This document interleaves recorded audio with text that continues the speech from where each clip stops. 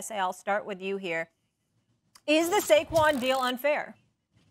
Um, I believe it's unfair for him. It's not unfair for all running backs because we've seen situations, for example, like Miles Sanders with Carolina, if I remember correctly, where he ended up getting about $6 million a, a year or what have you. And, and, and, so a lot of people thought that was relatively fair uh, for him, where he got the second contract or whatever. It didn't measure up to the time of dollars that Saquon Barkley and those guys are looking for or whatever, but he's not on that level as good as he is.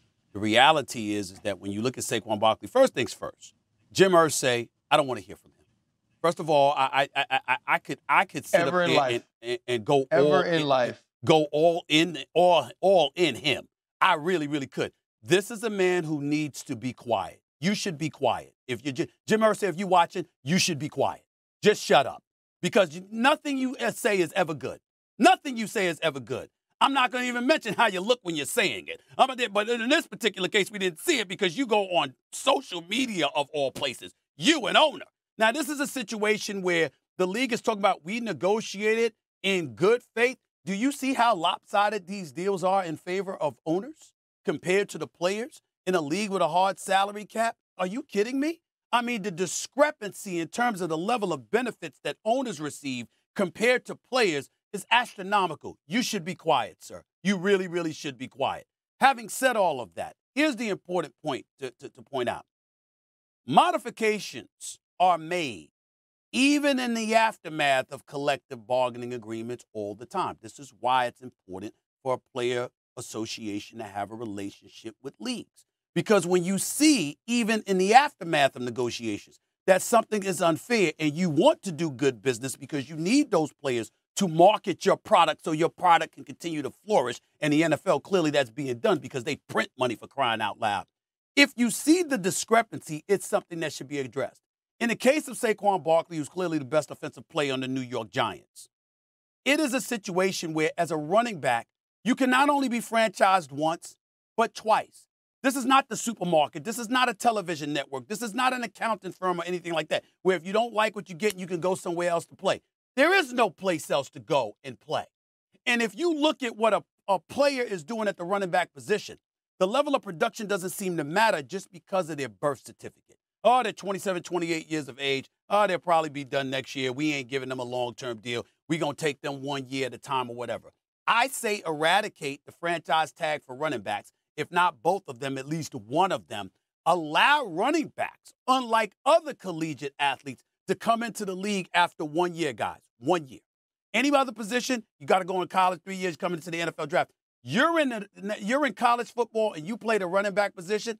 Let them come into the league a year or two earlier, so they could get they can have an opportunity to get their money, just like players from different positions could get their money. You do something like that, then it inches towards fairness and really, really rewarding individuals for their proper marketability as opposed to exploiting them and then throwing them out like yesterday's trash. I'm not saying that's the case with all running backs, RC and Harry. I get all of that. I understand what was collectively bargained, but there are cases when it, as it pertains to running back, where it is flagrantly unfair. And I think when we see that in the interest of good business, Mr. Irsay, you can sit back and say, yeah, that is a good point. Let's be fair minded. We're not going to, we're making hundreds of millions of dollars individually as owners. We can modify that to some degree. I think that's the decent thing to do. You know, this is this is a, a, very difficult thing to say. And we had this conversation recently, and I knew I wasn't on the player side in totality, and it made me uh, a little sad, a little apprehensive. I actually apologized for it. Yeah. What the New York Giants negotiated with Saquon Barkley is not unfair as much as it's unfortunate. Now, I wasn't a part of these negotiations. I don't know what Saquon Barkley asked for. I don't know what his agents thought was a fair deal for him. But when you listen to Najee Harris, it shows you that this is a league wide problem. It's not just the New York Giants. The New York Giants are not setting a precedent for treating running backs this way. The New York Giants are following the trend. The New York Giants are following the trend and saying, for these people or for these teams and organizations that have given running backs big money, what was the result of it?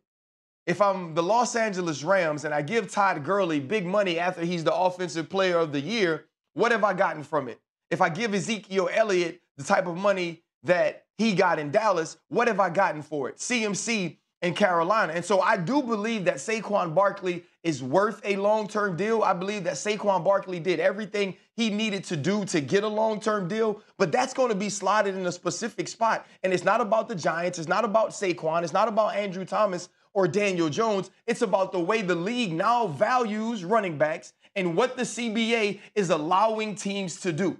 And so, whereas I see it as Saquon Barkley deserves some security, I still understand why he doesn't have it. And that's what makes it unfortunate is that the league is now set up to treat one position this way and it will never be changed because that's not what collective bargaining means. You bargain for the collective, you don't single out one position. And so now if you think that owners can't get together, GMs can't get together, and they can't collude and say, this is where this market is going to be, you have to be out of your mind. But what's unfortunate is people like now Saquon Barkley going forward, Najee Harris going forward, Jonathan Taylor will be held to this standard of saying, we aren't paying you, you take what we give. Yeah, I think when you when you look at how the running back market and the running back room is being portrayed and how it's being devalued, in my opinion, and you look at the deal that Saquon, Saquon Barkley has, I believe it's unfair. But I also want everyone to understand this. When you're talking about the front offices of organizations, and RC, you alluded to this a little bit, you, you talk about these owners of these teams. We got to remember they are businessmen and businesswomen first. Hey, Jim Irsay had comments about it. Najee Harris thought it was unfair, and I know you had more to say. Well, listen, I wanted to throw this out, and I wanted to reiterate what I said the other day, guys, in terms of numbers. Harry, you wasn't here, but RC was. Um, and then I wanted to add a little nugget of intel that I just acquired as well. The other day, I pointed out, Harry, and RC will remember this. Um, 125 NFL players currently have uh, average annual contracts of 15 million or more per year, which is obviously what the running backs are pursuing, Harry. Of those 125 players, offensive players with average annual contracts worth at least 15 million per year. 22 wide receivers, 22 offensive tackles, 17 quarterbacks, 7 guards, 2 tight ends, and just 2 running backs, okay? And Jason, and Jason Kelce, uh, you know, at center, he's like at 14.25 million this year. But here's additional thing that I wanted to add because Ryan, I know you heard that the other day. I just got this just now, Ryan Clark. NFL team rosters, they carry about four to five running backs and only one place kicker.